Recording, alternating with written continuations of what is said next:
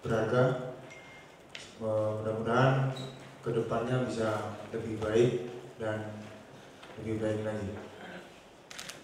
Oke teman-teman kita rasanya bahagia dan ada sedihnya mas. Eh,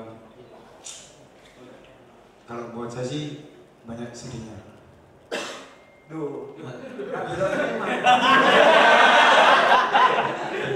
Enggak. Kenapa kota Surabaya ini kayak eh, pemainnya ya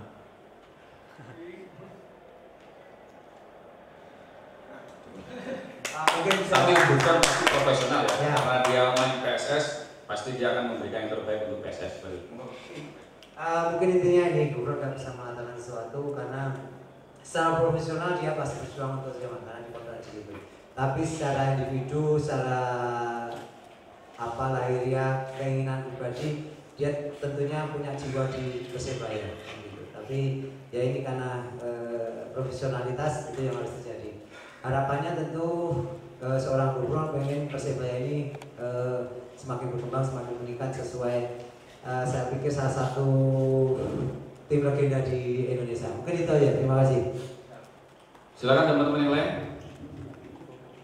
Oke kalau nggak ada kita akhiri. Terima kasih. Assalamualaikum warahmatullahi wabarakatuh.